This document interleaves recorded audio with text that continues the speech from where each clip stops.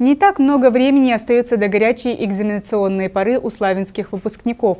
К этому нелегкому испытанию необходимо хорошо подготовиться.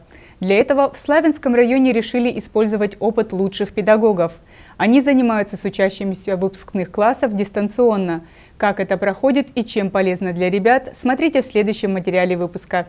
Для того, чтобы во время проведения экзаменов не возникло никаких проблем, готовиться нужно начинать пораньше. Это прекрасно понимают в сфере образования Славянского района. Не секрет, что уровень подготовки выпускников не везде одинаковый. Он во многом зависит от того, как учитель преподнес свой предмет, смог ли разъяснить все тонкости и найти вместе с учащимися оптимальные пути решения задач. Работа межшкольных консультационных пунктов в онлайн-формате позволяет улучшить качество подготовки учеников. Гораздо большее количество детей мы можем пригласить в, на одно и то же занятие. И, соответственно, расширились горизонты такой работы, и мы теперь можем охват осуществить гораздо больше, чем раньше.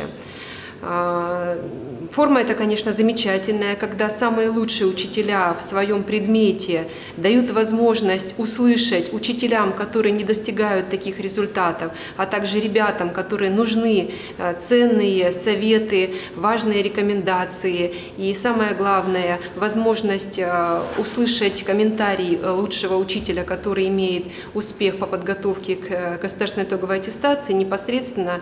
И это позволяет достичь достичь наилучших результатов подготовки к экзаменам. Один из лучших славянских учителей математики Юлия Выдря из 4 лицея дает урок для учащихся из 29-й школы станицы Петровской. Не выходя из своего класса в городской школе, при помощи специальных технических средств она ясно и наглядно преподносит сложную тему, позволяя выпускникам глубже разобраться в ней. Такая форма подготовки очень помогает подготовиться к ОГЭ, так как она дает новые знания и позволяет повторить изученные материалы. Учитель математики из 29-й школы Наталья Мальченко высоко оценивает предоставленные возможности, чтобы ученики смогли как можно лучше подготовиться к будущим экзаменам. Математики много никогда не бывает.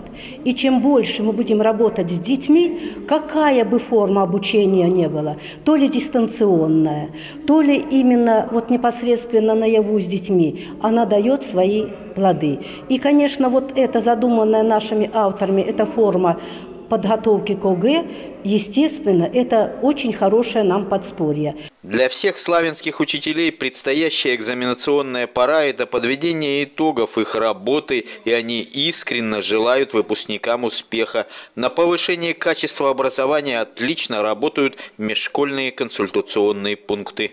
Андрей Вишневский, Георгий Калинин, Дмитрий Волошин. Программа «События».